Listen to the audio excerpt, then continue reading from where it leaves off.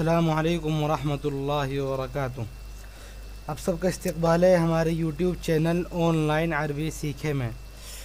अल्हम्दुलिल्लाह, आज हमारी ये तीसरी किताब शुरू हो रही है अरबी लिटरेचर में।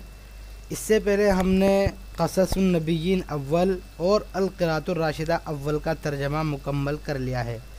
यहाँ से इन हम थोड़ा अलग अंदाज में पढ़ेंगे और मैं कोशिश करूँगा चूँकि असल मेरा मकसद है आपको पढ़ाना, आपको अच्छे से सिखाना तो चूँकि इससे पहले जो हमने आपको तर्जमा कराया था, उसके अंदर हम क्या करते थे? वर्ड मीनिंग आपको ऐसे ही बता देते थे।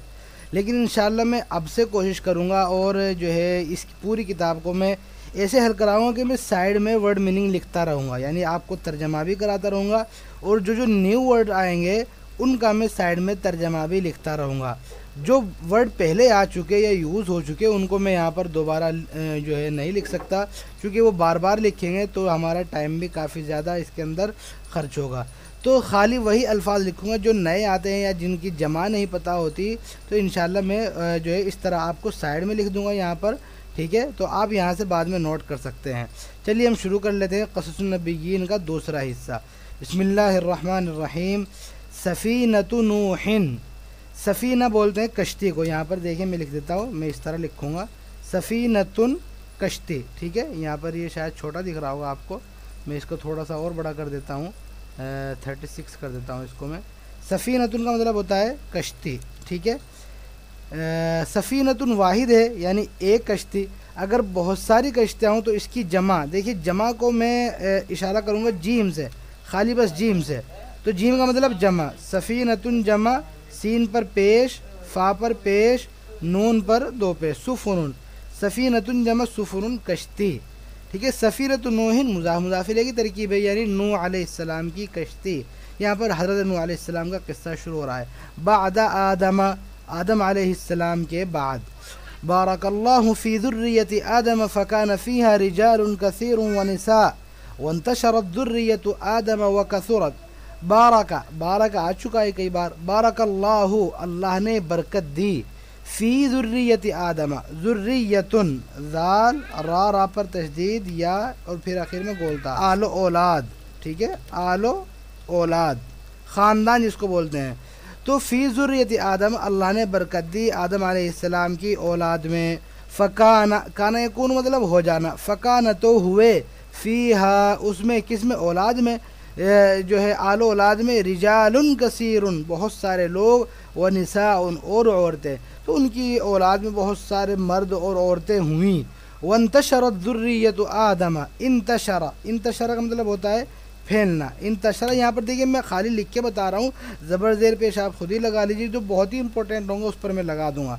इन तशरा यन तशरु इंतशारन। ठीक है? इंतशारन, ये हमारा मजदर है। ये क्या है मजदर? इन हम बहुत जल्दी इस पर वीडियो बनाएँगे। लेकिन मैं अभी से आपको प्रैक्टिस करा देता हूँ कि ये माजी हमारा, ये मुजार और ये मजदर। इसका मतलब होता है फैलना, ठीक है? इंतशर इंतशर, इंतशारन का मतलब फैलना। वंतशरत और फैल गई ज़ुर्रियत आदमा, आदम आसमाम की औलाद। ठीक है? देखिए, इंतशरत का फ़ाइल ज़ुर्रिया है। वह कसूरत और ज़्यादा हो गई। कसूरा, सा पर पेश, ये भी हमारा फ़ैल है। कसीर तो इसमें है, लेकिन कसूरत ये फ़ैल हुआ। कसूरा और इसका मुजाहरा आता है जी, यकसुरु। कसूरा यकसुरु। और इसका मुजाहरे और इसका मजदर कसरतन। ठीक है? कसूरा यकसुरु कसरतन। मतलब ज़्यादा होना। यहाँ पर देखिए मैं, सफ़ाई से लिखूँ इन ज़्यादा होना। वह कसरत और ज़्यादा हो गई। यानी आदम की औलाद फैल गई और क्या हो गई? ज़्यादा हो गई। ठीक है, फलो रजा आदम, आगे है फ़ा तो लो, अगर, लो का पता है, फलो रजा तो अगर लौटें, आदम आदम सलाम, ठीक है, वर आ और देखें देखें और लौटें का तर्जमा करेंगे। तो अगर लौटें, आदम सलाम, और देखें औलाद अपनी औलाद को, ला ला का मतलब होता है यकीनन, लाम ज़बर लगा ठीक है, ला का मतलब यकीनन, ठीक है, अब आगे है माँ आरफा वो नहीं पहचान पाएँगे। ठीक है? माँ, ये माँ हमारा नफ़ी वाला है अरफा पहचानना। ठीक है? माँ अरफा वो नहीं पहचान सकेंगे। मुजारे में तर्जमा करेंगे लव की वजह से। अगरचे माजी दिख रहा है, लेकिन मुजारे में तर्जमा करेंगे। लमा आरफा तो यकीनन वो पहचान नहीं पाएँगे। ठीक है, ये लम्मा नहीं है, लम्मा का मतलब जब होता है, ये ला अलग है, माँ अलग है, ठीक है तो यकीन वो नहीं पहचान पाएँगे। वलो कील लहू, और अगर उनसे कहा जाए, काला कहना, कीला कहा जाना, और अगर कहा जाए उनसे, क्या कहा जाए? हज हाजी ज़ुर्रियतु का, ये तुम्हारी औलाद है, ये सब जितने भी इस दुनिया में जो है, लोग हैं, इंसान है, ये सब तुम्हारी औलाद है, या आदम, ए आदम, ला। अब देखिए, यहाँ पर वही ला यूज़ हो गया, यकीनन तजब कसीरन। तजब या तजब तजुबन इसका मतलब होता है तजुब करना। तजब जीम पर क्या है? तशदीद है, ठीक है?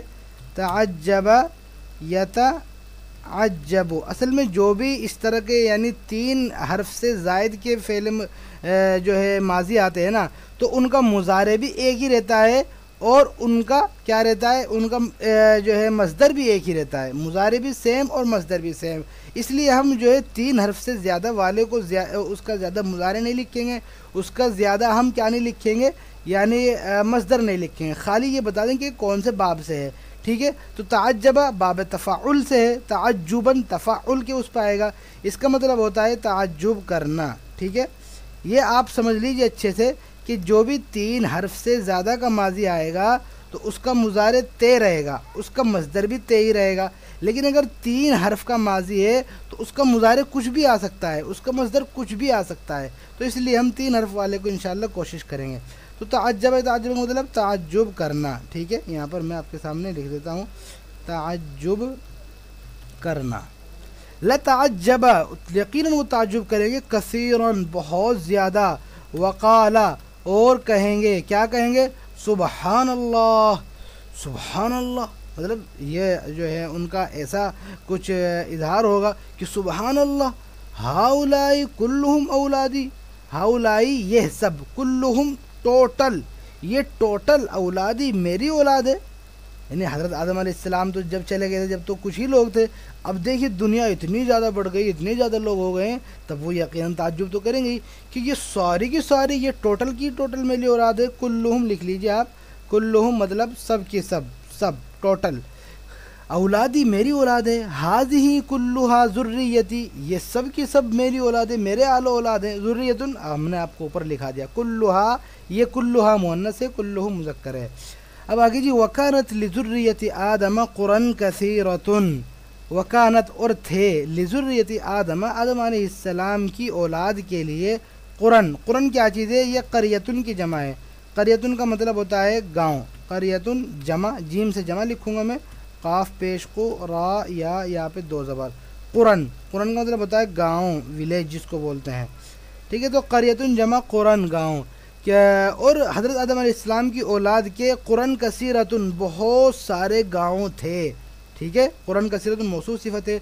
वह बनऊ और उन्होंने बनाए थे। देखिए, बना यबनी, बा ये हमारा, बना ये माजी और हमारा ये मुजार, बना यबनी। और इसका मजदर आता है बिना अन ठीक है? बिना अन बनाना, ठीक है? बना यबनी बिना अन बनाना। मजदर कई कई भी आते हैं, हम खाली एक लिख दिया करेंगे। तो वह बनऊ, ये हमारा बना, बनाया, बनऊ। वाहिद ये हमारा जमा मुजक्कर गायब का सिगा है, और उन्होंने बनाए। बुयूतन रतन बहुत सारे घर। और उन्होंने बहुत सारे घर बनाए। वकन या हरूसून अर्ज़ा, और वो सब खेती जोतते थे हरसा या हरूसू का मतलब होता है खेती करना। हरसा। ठीक है? और इसका इसका हमारा वो क्या आता है मुजारे या हरू सू। और इसका मजदर हरसन, ठीक है? खेती करना, यहाँ पर मैं लिख देता हूँ, खेती करना। और वो सब कानू या हरूसूना जमा है, फेले मुजारे पे काना आया है तो माजी इस्तेमारी हो गया, तर्जमा होगा और वो खेती और वो ज़मीन की खेती करते थे। जोतने के भी आते जोतना, यानी खेती करना जोतना। और वो सब ज़मीन को क्या करते थे? जोतते थे, ठीक है? वह ज़राऊना ज़रा ज़रा या ज़राऊ का मतलब भी क्या होता है? खेती करना। ज़रा ठीक है? ज़ा हमारा और ज़रा या ज़राऊ ज़रान ठीक है? खेती करना, इसका तजम वही है। ज़रा ज़रा ये हरसा या हरसू जो है खेत को जोतना, यानी खेत को जोतने का मतलब क्या है कि उसको, उसकी ज़मीन को नरम करना, ताकि उसके अंदर कुछ बीज डाला जा सके। ठीक है, खेती करना। यहाँ पर ऊपर हम लिख देते हैं आपके सामने, खेत जोतना कर देते हैं आगे ताकि आपको अच्छे से समझ में आ जाए जोतना। ठीक है, इसको एक ही जगह कर देते हैं हम। तो ज़रा ज़रा खेती करना, हरा सया हरूस जोत जो है जोतना। और वो खेती करते थे, ज़मीन जोतते थे और खेती करते थे। वो यशूना और जो है लाइफ गुजारते थे। आशा आशा ये हमारा माजी है और इसका मुजारे यीशु ठीक है? इसका मुजारे क्या हुआ? यीशु और इसका मजदर ईशतन। ईशतन आता है, ठीक है? आयशन भी आता है, लेकिन ईशतन ईशत राजिया। ये यानी ज़िंदगी गुजारना। तो वो यीशूना और वो ज़िंदगी गुजारते थे। ये सिर्फ़ उनका ये काम था। क्या था काम? खेती करना और अपना खाना पीना और ज़िंदगी गुजारना बस। वकान नासु अला दीन अबीहिम आदम। वकान नासु और लोग थे अला दीन अबीहिम। अपने अब्बू के दीन पर, अपने अब्बा के दीन पर थे। अपने अब्बा कौन? आदम। अपने अब्बा आदम के दीन पर थे सब के सब लोग। याबुदून अल्लाह, क्या दीन था? याबुदून अल्लाह अल्लाह की इबादत करते थे। वलायु शरीकूना और शरीक नहीं करते थे भी उसके साथ शई अन किसी को भी, किसी को भी उसके साथ शरीक नहीं करते थे। देखिए, अशरा का युशरीक। अब अशरा का तीन हर्फ से ज़्यादा का माजी हो गया, इसका मतलब क्या हुआ? कि इसका मुजार एक ही आएगा, इसका मजदर भी एक ही आएगा। तो अशरा का युशरी को इशराकन होता है। इस पैटर्न पे जो भी आएँगे, वो सबका माजी मुजारे और मजदर सेम रहता है। तो अशरा का बाब इफ़ाल से है, इसका मतलब होता है शिरक करना। ठीक है? शरीक करना या शिरक करना, दोनों कर लीजिए। अशरा का यानी किसी चीज़ को किसी के साथ शरीक करना।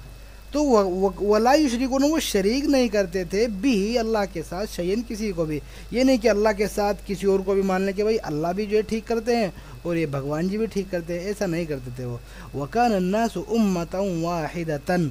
और लोग क्या थे? एक उम्मत थे। उम्मत वाहिदा एक उम्मत थे। ठीक है? उम्मा, उम्मत को बोलते हैं अबू हम आदमू। उनके अबू कौन थे? उनके अब्बा हज़रत आदम थे।